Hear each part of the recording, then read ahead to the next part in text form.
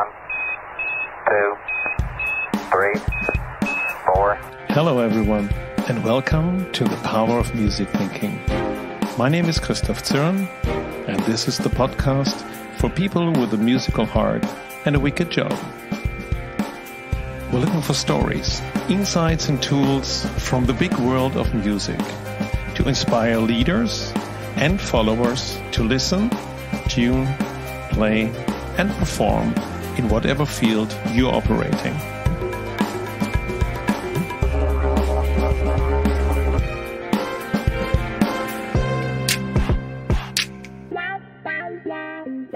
What is the use of standing still for 10 minutes?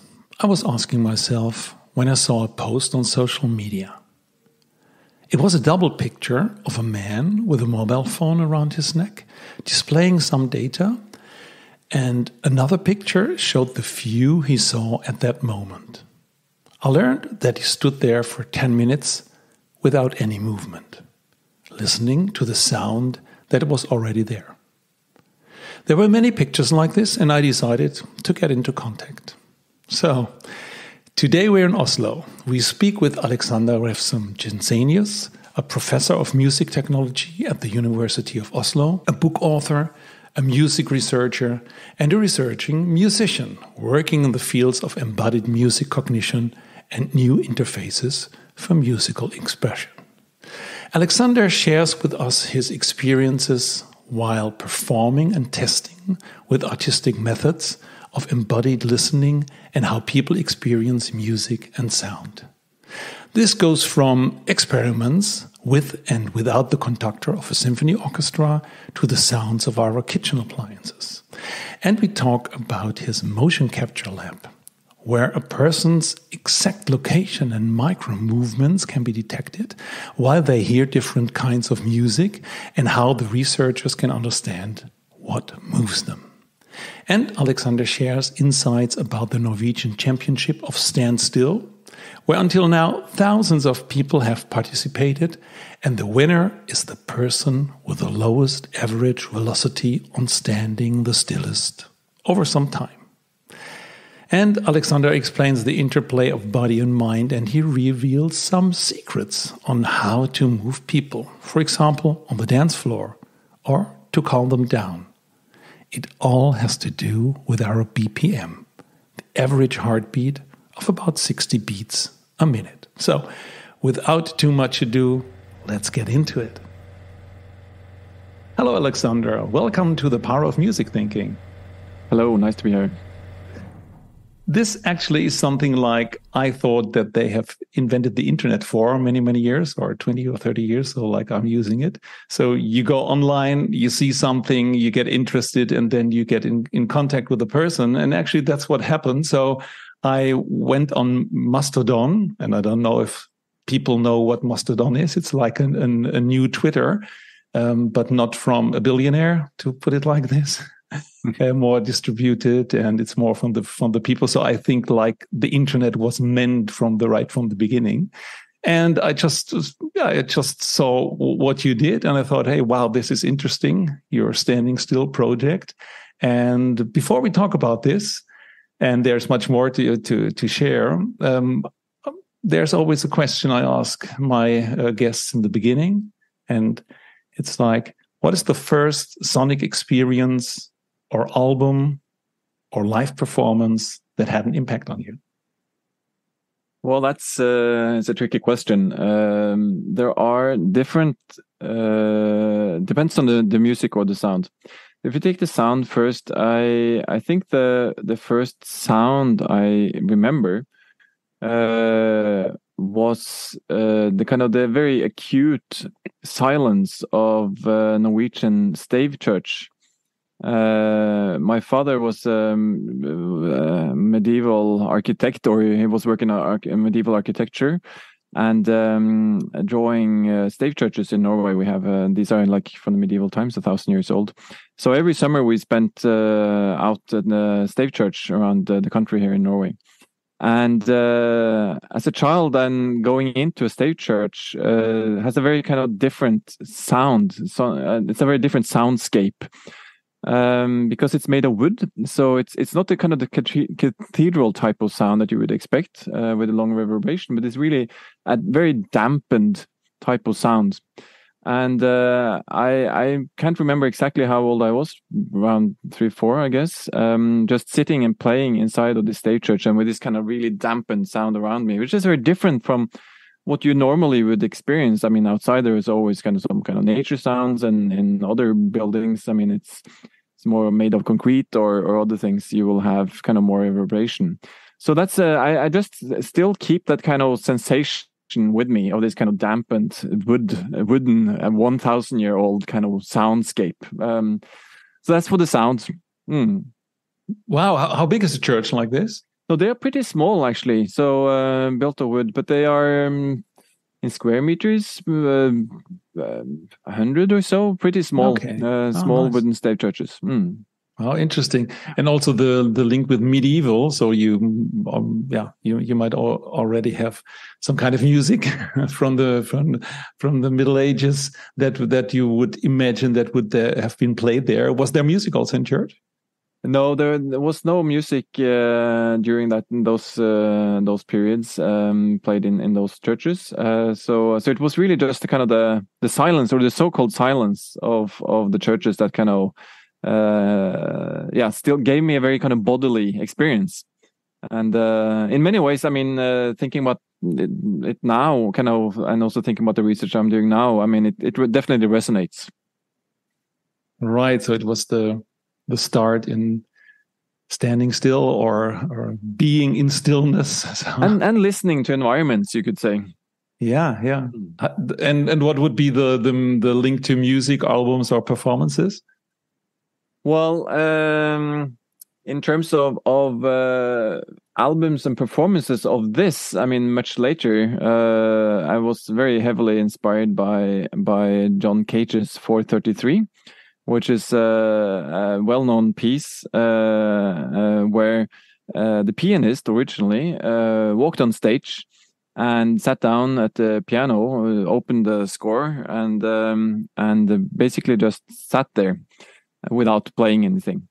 And uh, then turned the sheet and then continued to sit there. And then after 4 minutes and 33 seconds would uh, rise up take the score and walk out. So that's the whole performance and uh, I I uh, I I heard and, and saw this this as a performance uh, when I began my studies um, around 19 20 years old. And uh, it was very powerful for me then. I mean this is a this is a piece that I that many people have heard about. Uh, not that many have actually seen it in performance. And I I saw it performed before I actually uh, had heard about it uh, so it was a very interesting experience because uh, the idea is that you will listen to the so-called silence of the space, but as you're sitting there, you realize that there is so much going on, uh, both in the space itself and uh, also around with people being around, doing all sorts of uh, sounds, etc.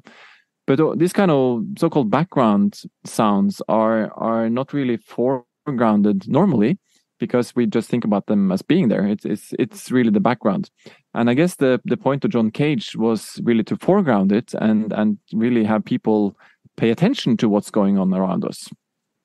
Absolutely, there's an let's say nowadays we would say mindfulness aspect uh, in, in it to realize what's already there and uh, and also that you realize that there are sounds that are very far like a plane flying over that you that your brain just had mm. erased because the brain said oh that's not interesting or if, if, you're alone and actually i thought about this when you when you said uh, you were in church you you also hear your body noise mm-hmm. uh, your your breath sure. or, or uh, anything else so it's really like unites you with everything that's uh, audible Beautiful. I, I did this once uh, with a conference with 120 people. Mm-hmm. And we didn't do the piano version, we did it with a choir. So we, I think it was eight people standing there, and there was the the get going uh, signal, and also because it's a three part piece, so you have to do you, you need to two more uh, signals, and without telling the audience what it is. So that was really like people first they were, yeah, they have their question mark then they try to understand is there a noise? And then they later they realize oh it's about us. So it was really like um, really nice great piece. Thank you for for sharing this. Um, alexander will you tell a little bit about yourself what you're doing uh, right now? And then we can uh, segue into the standing still project that uh, brought us together yeah no so so i'm a professor of music technology at the university of oslo and um, uh, many people wonder what a music technologist uh, actually does, and um, the the short answer to that, I guess, is that um, music technology, as I see it, is as a field, as a discipline, is the combination of the the techne and the logos. So it's about the tools and how we do things, uh, make music, analyze music, uh, etc but also the thinking, the logos, the the knowledge that we gain through this and uh, with this and and uh, for this. So so music technology as a discipline involves then both the the making of different types of machinery and, uh, and analysis techniques and uh, programming code and whatnot involved in in all sorts of, of musicking. Uh, but it also involves the kind of more fundamental research questions underlying this which ties into more general information theory, but also a lot of uh, music psychology and cognition. I mean, how do we experience the world, etc. Because, for example, if you want to capture sound with a microphone and a sound card, you need to know a lot about what sound is, uh, how it uh, is generated, produced in the first place, how it uh, works in an environment in the terms of the acoustics, how it can be uh, recorded and filtered, etc um, and also then processed uh, as as well uh, later on. So so um, that's what I'm I'm kind of uh, teaching as a professor. And um, in terms of my research, I've been uh, I started out doing more perhaps traditional music technology, you could say, in terms of recording and um, composing, producing, and performing. Uh, now I kind of zoomed more in on what I call embodied music technology, where I am interested in in the body, the human body, and how the human body responds to music and musical sound, and also how we can use the uh, human body to produce musical sounds in novel ways. So uh, I call myself both a music researcher and a research musician because I also like to then uh, I do more traditional scientific things in in my in our lab with students doing experiments and and these things but I also perform and uh, test how I can use more artistic uh, methods to gain new insight about uh, music as well. And again, using different types of computer systems and, and these things. Nice. And as a sort of self um, experiment, you started the standing still. Yes, that's correct. Can you tell us a little bit uh, uh, about this? How, how, did you come to the idea? But you know, if if I think back to your first Sonic experience, so it's not so far away from it, isn't it? Well, I mean, thinking back at it, it it makes sense. But I mean, there were uh, a few decades in between there where where I didn't really think much about standing still. In fact, I um, I worked uh, I started working more with dancers because I was interested in in the human body. So. I uh, in the early 2000s I, I created various types of interactive uh, music systems for dance basically where the dancer could walk on stage and um, through various types of uh, sensing, uh, cameras, etc., would uh, be able to create music on the fly. So they would basically, instead of dancing to music, they would create music while dancing, um, as kind of becoming more like a musician in a way. So I worked then with the relatively large scale body motion in terms of dancers moving on a stage. We also took this into the lab, looking more at how we could uh, look at people's body motion and understand more about how they uh, how they process musical sound. So we did a series of studies where people were coming into the lab. We played music to them and asked them to move, basically, to hmm. music, mm. either to to tap along, to nod their heads, uh, to dance, to conduct, to trace the sounds in the in the air, etc. And what kinds we, of music uh, did you any use? type of music, really. I mean, we have been testing many different things, uh, and the the idea has really been to tease out how do people actually experience music because we are very bad at talking about our experiences um, but by looking at what people do, uh, we Mm. understand more about what they pay attention to. So we- did a lot of these studies, and I eventually I also got more into the field of motion capture, which is uh, what people typically use in to create animation movies and, and these things. And we have a motion capture lab now at uh, here at my center. And uh, the idea there is that you can get a very detailed and uh, rendition of of how you move in in space.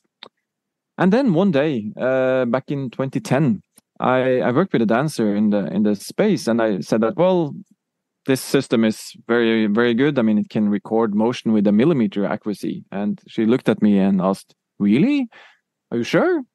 And uh, this was just a saying. I had actually hadn't tested it, so I said, "Well, let's try."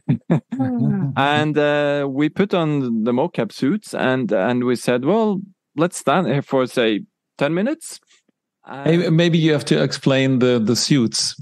so the suit, yeah. So the suit is is more uh, it's more like a kind of sports looking thing where you have this uh, reflective markers that you put on the body, and then you have cameras around you, and then uh, through through the cameras you are able then to capture the the the exact location of these these markers in the space. So Ah. that's uh, so you get this kind of skeleton model out of, of where you are, and with it then a kind of a millimeter precision of where you are in the in the space. So to see all these micro movement that uh, also because a, a body can't stand still. Exactly. So that's the thing, right? But we but we hadn't looked at that at all because I've been looking at large scale motion. I mean, the dancer moving around the space, etc. But then we decided, okay, let's stand here for ten minutes uh, without moving. And uh, what we found was extremely fascinating. We got this very noisy signal, but indeed the system is able to capture this. And we looked at the signal, which, uh, if you plot it, it looks more or less like noise in a way. Uh, so it's kind of the noise of the body. But then when you zoom in, you see that there are certain things happening in that signal. You have uh, kind of a slightly longer kind of curves that feel some somehow similar to the respiration. I mean, our breathing Mhm. patterns. This system is so detailed that it can even pick up the pulse of the heart. The heart rate can also even be seen in this data, showing up as spikes. And then every two to three minutes, there were also these spikes uh, in the signal, kind of uh, that I didn't really know about at the time, but that is kind of like a postural adjustment that everyone does uh, uh, once in a while.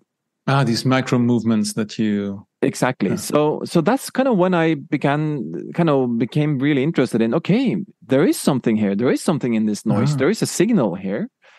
And I became curious about okay, what what is actually going on in a body standing still? And then of course as a music researcher, I'm also interested in okay, what if I play music to people then?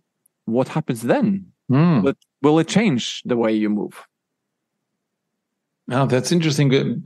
But um, how, how did it work? So people came in, get get the suit. You have the your your camera or or, or what else uh, kind of equipment, and then you ask them to stand still for let's say ten minutes or even longer, Yeah. and then you play different so different kinds of musics. Yes. Yeah. That's the idea. So uh play music of yeah, around half a minute or so. I mean not too long, not too short. Uh, we have over the years now, since 2010, I've I've organized the Norwegian Championship of Standstill to have more people to come into the lab to do this. So it's kind of been a competitive element as well. And uh, we've been Hang- hang different on, this means- people. Hang on, what does it mean? Does it mean that the championship is who can st- stand, who can uh, stand at stills, or yes yeah so the winner uh, is the person with the the lowest uh, kind of uh, average velocity the one standing the stillest over time. But they have to stay, not sit, because a yogi, for example, would would be in the Champions League of your yeah no you of need your to you need to stand uh, straight up and down on the floor for 10 minutes and then uh, we- yeah we're playing these different uh, musical excerpts also with silence in between so that we have like have a control and uh, yeah and then uh, the person that's able to stand the stillest wins the the championship Well, that's nice. So, um, all the listeners that think, "Oh, that's interesting," and I don't know how it works, they can do it by themselves, isn't it? So just stay together or you know, distribute it in a room yeah and uh, get a DJ with thirty seconds sound files. Exactly, or longer if you like. Uh, and the interesting thing was that when I started researching this, uh, well, everybody or many people say that well, music moves you. Uh, that's been a saying, but nobody had actually done any empirical research on this. It's just been kind of uh, anecdotal that that music moves us. Uh, so I kind of set out then to really check whether music actually moves people and if we can have find empirical evidence for that. Were there any, let's say, surprising results where you thought, um, yeah, like you'd say, if you get a, a punk uh, piece, where you, would everybody after thirty seconds be a headbanger, or what can I? Uh, yeah, imagine? yeah. No, the interesting thing is that we now we've done this many times, and I've had uh, almost a thousand people participating in the championship. Um, so we have a lot of data. And uh, we do see that dance music does indeed make people move uh, a little bit more than other types of music. So that's good for everyone producing and making dance music. But not any type of dance music, even. So it's particularly music with a, a beat per minute uh, rate of a little bit faster than 120 BPM. Mm. Um, so that's interesting as well, because there have been other studies showing that the human body has a resonant frequency in everyday actions at around 2 hertz, which is the same as 120 BPM. So a lot of dance music, if you look at the, I mean, there are other people have been uh, calculating the average of typical dance music, and the average is around 128 BPM.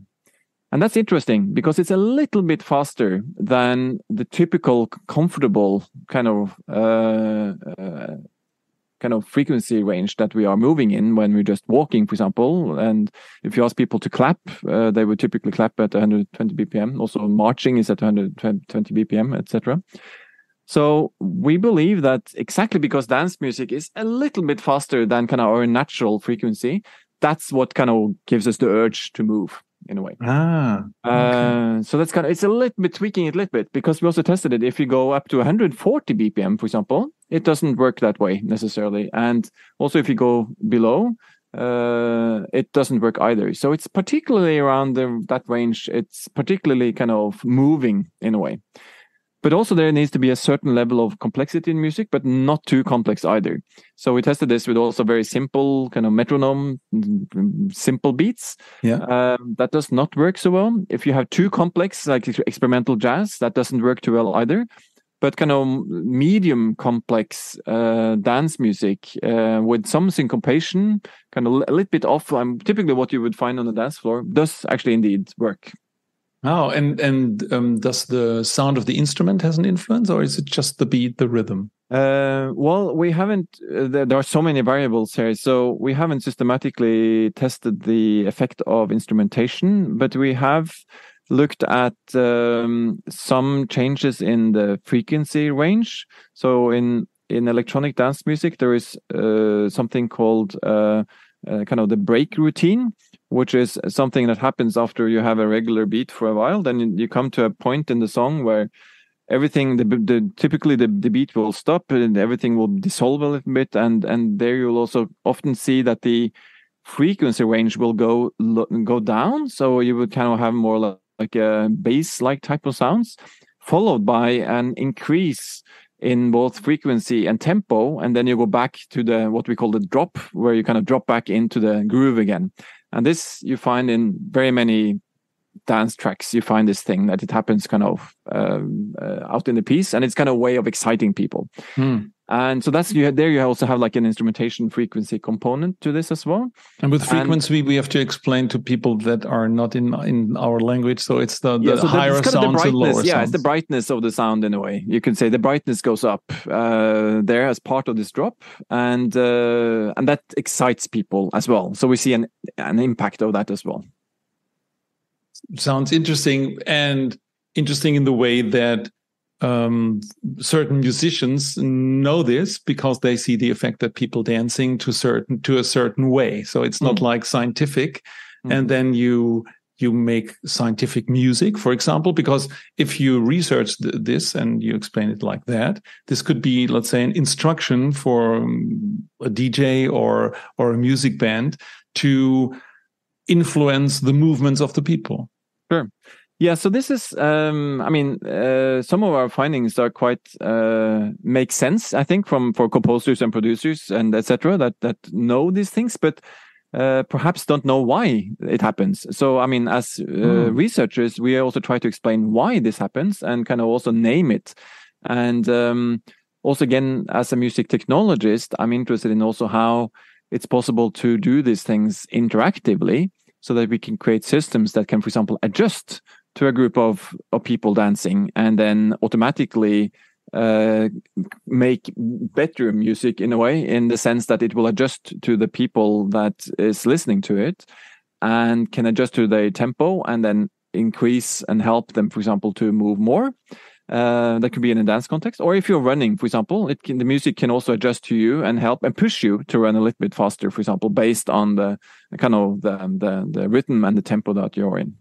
Hmm. So there's in that sense also linked to let's say sound healing or, or, or yeah let's say mind hacks we we had in one of the uh, earlier podcasts to to influence uh, us with uh, yeah with the music for example now we talk about movement and mm. this if i get it right if 120 is the base and you make it uh, the, the bass line and you make it quicker people have the urge to also uh, adapt. um, but if you would do it less, like 80 uh, mm. BPM, so uh, would then people slow down and would be a little bit more quiet? Yeah, that's the that's a good question, and um, we have uh, we have started researching this, but we are we have much more to do uh, here. We, it's not as simple as that. Uh, unfortunately, perhaps you could say. Um, we tested different types of music, and for example, we found that typical meditation music, which you would perhaps believe would calm people down, doesn't necessarily do so. I mean, because and right now the our reasoning there is that if you have very kind of drony, swooshy type of music, uh, it's also a bit unstable. Uh, so it kind of doesn't help and guide you. Mm. Um, so in fact, uh, very boring pop music, four four pop music, uh, actually makes people move less than, for example, uh, meditation music, which is interesting and perhaps a bit counterintuitive. So, but this is something we are now looking more into as well and try to figure out. Okay, what does it actually take to physically move or uh, or or make people move less and also ideally since we also work from a what we call an embodied cognition paradigm the idea is that also the body and mind works closely together so that uh, it's really impossible to separate them properly and that also means that if you calm down the body you will also calm down the mind and and vice versa uh, but uh, so far, I mean, there's there are still many open questions in in this research. Yeah, yeah. I'm, I'm just thinking thinking out loud there there is the the the rhythm uh, thing or what you just said if 120 is the baseline you do it to 128 and then they move but they don't do when it's 140 for example you, mm. you hmm. just mentioned and the other way around is it's the same so if you go from 120 maybe i'm just making up to 100 100 10, this would maybe have a more calming effect than going to 80 or 70 yeah that's that's yeah that's that makes sense. Uh, and this is the type of things we're now kind of continuing with in our yeah we do this championship once a year and then we have a new hypothesis each year. So we kind of well, it takes time to to do research like this but uh, on the other hand there are so many interesting questions really that we're trying to deal with. And and ultimately also to really try to have to also have the to get the empirical evidence to support these these theories right oh um, I, I, just heard a story about um, if you have to reanimate a person you have to do it in a certain rhythm and a certain beat and someone told me that uh, staying alive you know ha ha mm-hmm. ha ha staying alive that mm. this would be the right beat but i think it's less than 120 isn't it uh, I'm not sure about that one actually. I haven't checked. but yeah, it's just uh, something I heard and maybe interesting. So because people told me, okay, when I when you have to reanimate, how quick? So if you're maybe stressed by yourself, you might do it too quick. Uh, on so this was something. Okay, if you have this song in your mind, staying alive, and this was yeah, sounds like a pun, but it might it, it might save lives. Yeah, no, that's a good point. You, you told me that you be, be, before our talk you just uh, did your stand uh, still. What is it? Moment ritual? How do you call it? Yeah. So now this um, this year I'm, I'm working on writing up a, a book called Still Standing, based on uh, all my research into into standing still. And um, as part of that research, I decided to test it on myself. Uh, so I have made this ritual now where every day I'm uh, standing still for 10 minutes. And uh, and the idea here is that I will uh, then also collect data uh, on myself uh, and have 365 different recordings to also understand more about the differences over time. because some people have asked me, do you improve, for example, over time? And uh, also, does it matter when during the day you stand still and what you have eaten and all sorts of different things? So that's why I'm curious about the well testing on myself. It's a it's a small kind of empirical data set in that sense, but uh, it's it's long in the sense that I have many recordings of myself. So I'm kind of exploring this now, um, kind of my individual differences from day to day of of standing still. So that's kind of one part of of that project. But the other part of the project is related to a new research project I've started up, uh, which looks at the impact of the environment on on our lives, the background. So this is back to the kind of the to the what we started talking about, where what is the background and uh, of our lives and how does it impact us? So every day I'm standing still in a new uh, room I decided to only work in indoor environments for simplicity's sake. Uh, so I, I, find a, a room and uh, I set up my my video recorder and audio recorder and also capture my own uh, respiration and motion. How do you do I this? stand still for for ten minutes. Oh, and, and, and what's your equipment? Could everybody do this? Everybody could do this. I'm using a normal, well, it's a GoPro camera, uh, 360 camera. So I, because I want to capture the whole the whole space, and uh -huh. I use uh, also a commercial. Uh, it's an Ambisonics microphone. It's a particular microphone with four capsules, so that it captures the the 360 degree kind of surround sound of the of the room.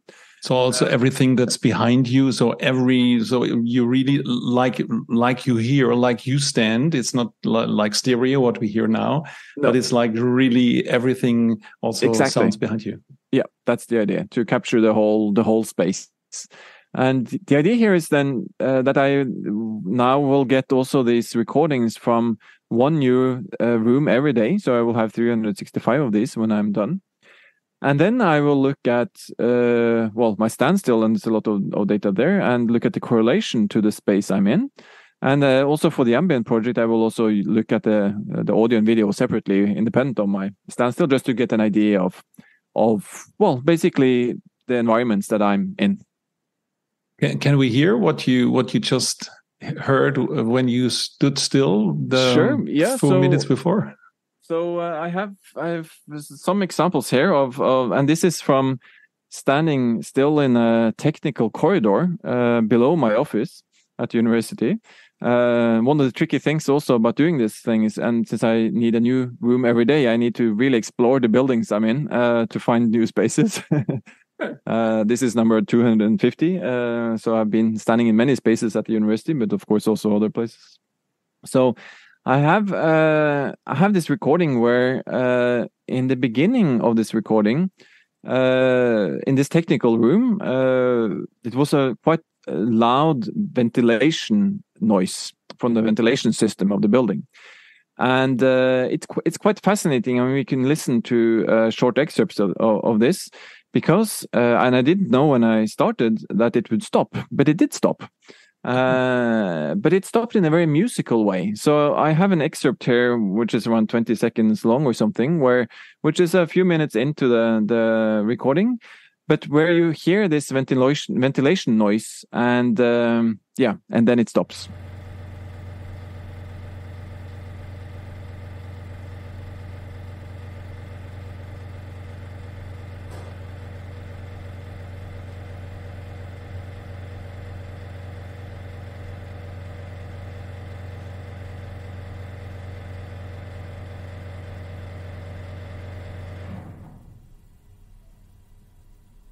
So that's uh, that's kind of uh, this transition thing, and the the fascinating thing about this um, is uh, now I'm particularly attuned to to listening to noise, uh, both both from my kind of also experimental music background, but also from from listening to these type of things. But the the noise, uh, the fan was also increasing in speed. Yeah. Was accelerating, yeah. You had like a tempo increase, but also a frequency, and the pitch kind of also went up a little bit. Uh, quite musical in a sense, and then you get this got this drop. Yeah. Can we uh, can we hear it again? Only that part, so that everybody doesn't know. it's it's that let's say some kind of boring sound, and then it accelerates a little bit, gets higher, and then yep. it's. Let's try again.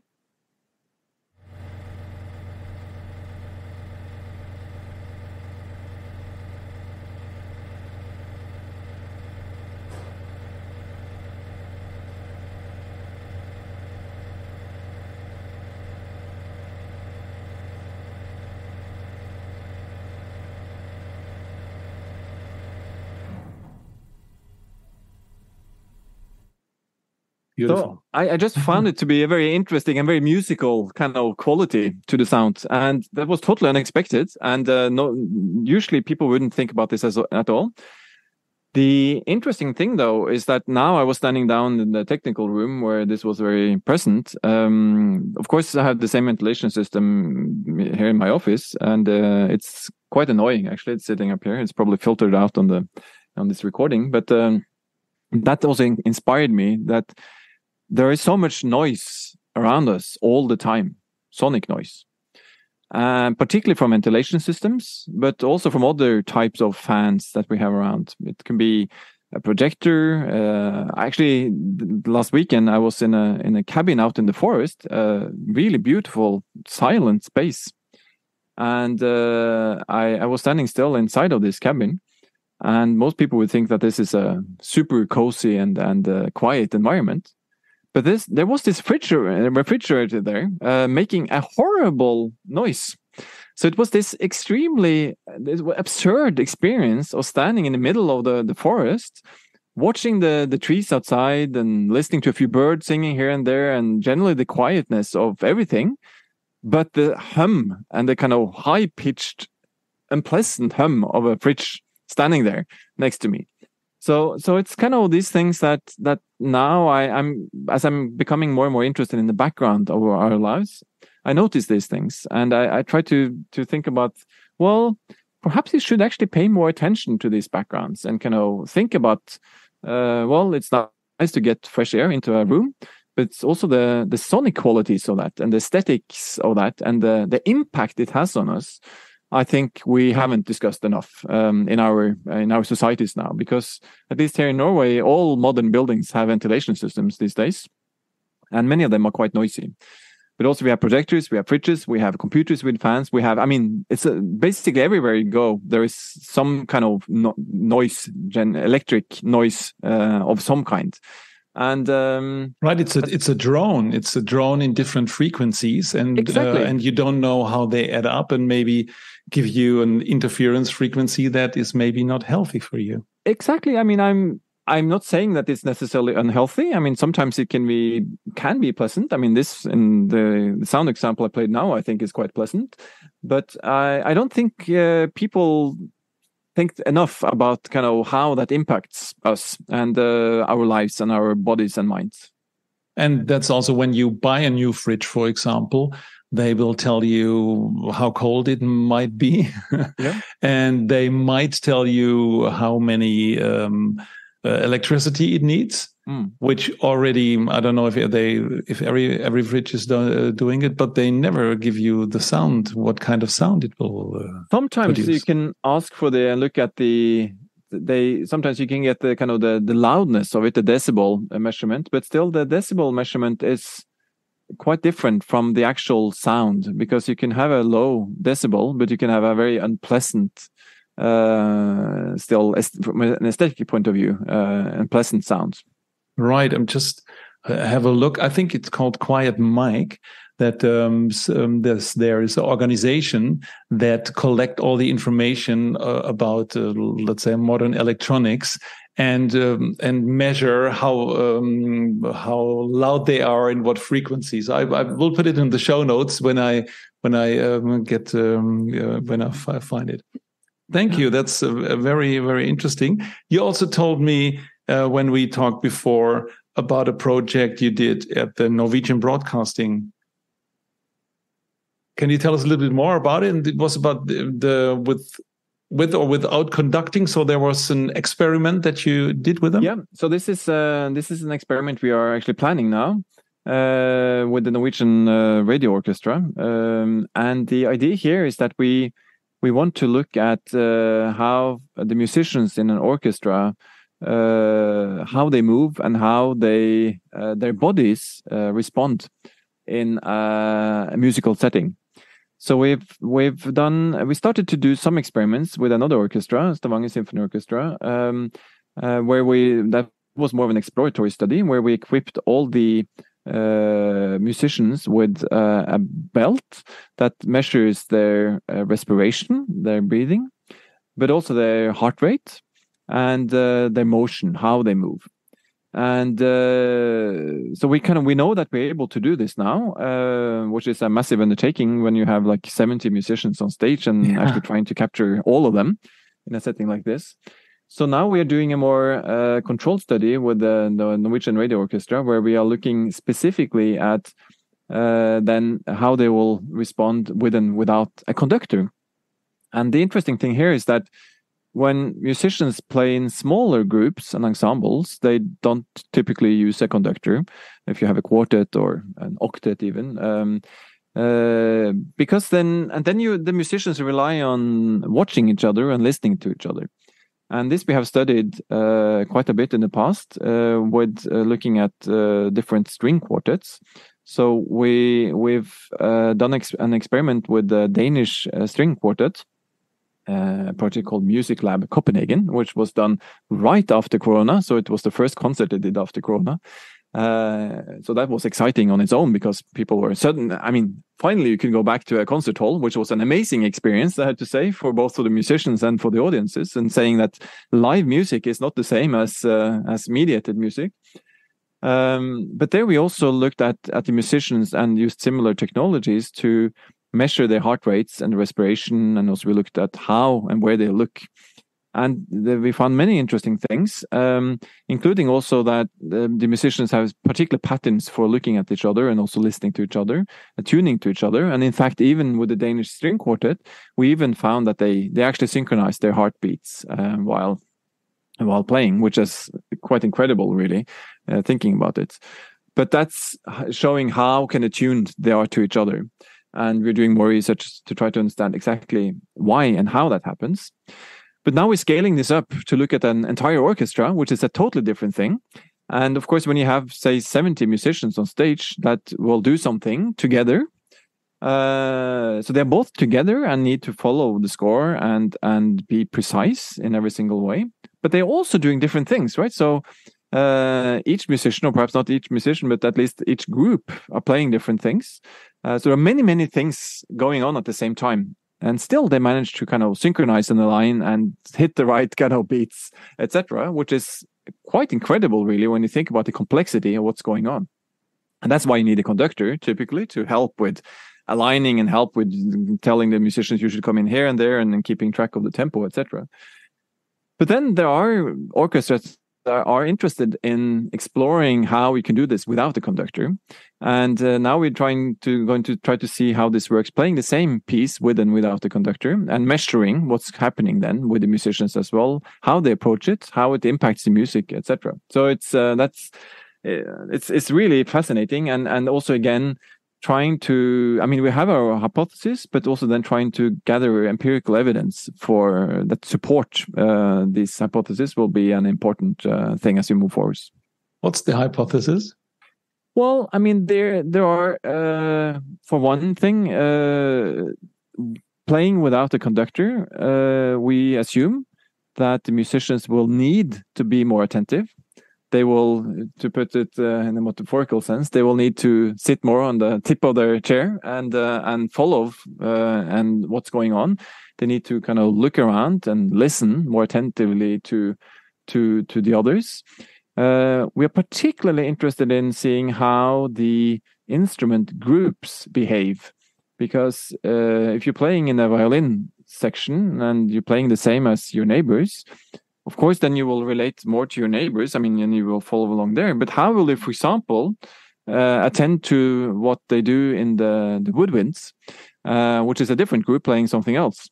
and uh, it's this kind of multi-processing of information both kind of locally kind of something similar to what you're doing yourself but also thinking about other groups and also the holistic of the um, the orchestra that uh, we are very very curious to to see and we will we expect to find that the musicians will be perhaps less precise in a way mm. uh, if you want to measure it mathematically but we also believe that the music may be more interesting uh, mm. ultimately because it's less precise and it's it's this human thing about um, the same thing with, with if you think about just rhythm which is only one part of music but uh, but an important part is that we as humans we we like repetition but we also like variation so at, at my research center called RITMO, we study rhythm in different ways. And uh, here the kind of the, the general thing we're interested in is exactly to look at this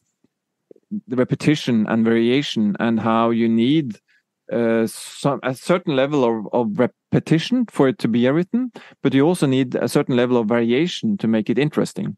So uh, we don't really like to listen to like plain metronome, for example. It's just mm -hmm.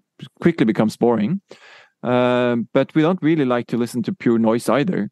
So it's something in between, and it's finding that balance that that we find interesting. What what's that right balance? Uh, that's that's beautiful, and that's also the analogy in the power of music thinking. We're not necessarily only focused on music, then it would be the power of music but in the power of music thing is like okay what what is music doing? Or is there something in music that we can learn from?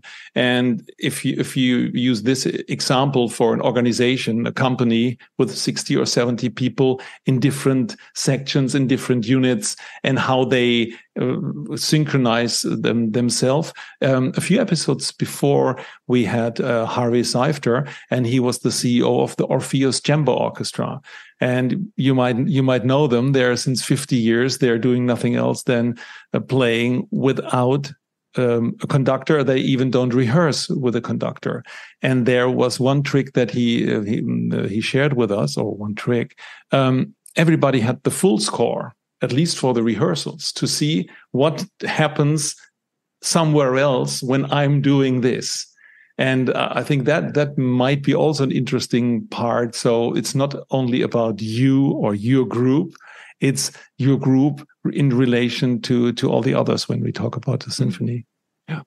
No it's it's fascinating and and one of the underlying theoretical models that we are building on here is of what we call entrainment which is an old physics principle but where the idea is that uh, when you have two or more uh, systems with a, some kind of period, periodic pattern uh, or oscillating systems, as you, as you can call them, uh, they will influence each other and they will kind of drag each other to synchrony.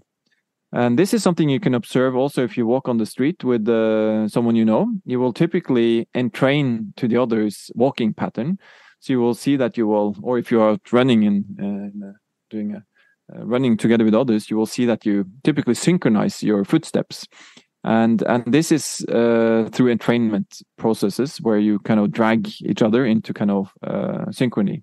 The opposite is also true. If you walk uh, on the street and there's a, a stranger in front of you, you might try to explicitly not entrain to that person's uh, footsteps because it may be a bit kind of sneaky, kind of to, to entrain with someone else. so this we do con- and, and consciously all the time. And uh, of course, in more complex settings, uh, like an orchestra or even an organization, I guess you entrain to others. I mean, that's how we that's how we live in the world. I mean, we train all the time to things around us. Also, when when you speak to to to other people, they will start nodding with you, and you will you will gesticulate, and all these things are also based on the same principles. And we are very interested in kind of understanding the underlying mechanisms of this entrainment processes, how they work, And again, also from a music technology perspective, I'm very interested in also seeing how can we model this with computers and how can we also make, for example, computer sounds and music that entrain to people in various ways. Yeah, absolutely. That getting together, coming together. It's like when you ask 100 people to clap, at the very end, they will clap in, in some kind of unison. Sure, and that's so, fascinating so, too. I mean, it's it's amazing how people are able to do these things. I mean, uh, to have, I mean, or even thousands of people can clap uh, in synchrony uh, without really any training. It's a very deeply rooted kind of human, uh, human uh, possible uh, kind of way way of behaving. You could say.